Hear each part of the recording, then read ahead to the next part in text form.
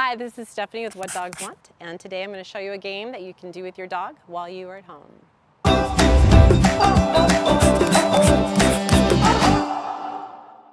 This game is called the Cover Up Challenge, and it's exactly what it sounds like. Any object that you have laying around your house that can essentially cover up a treat is fair game, and it's kind of fun to go through your cupboards and find stuff that'll work. We're gonna start with something fairly simple. Hey May, put a treat underneath, cover it up, and let them figure out how to get the treat out from under the cup. You can tell she's done this a few times before. So once they're comfortable pushing that over and getting the treat out, we're gonna make it a little harder by doing a stacked cover up where you've got the treat under one and we're gonna throw a couple other things on top of it.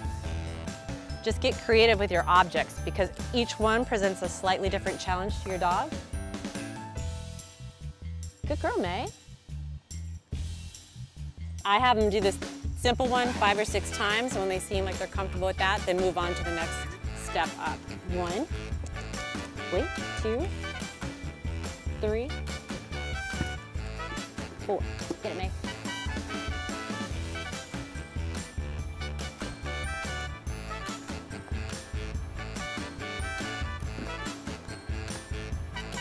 Yeah, good girl, May.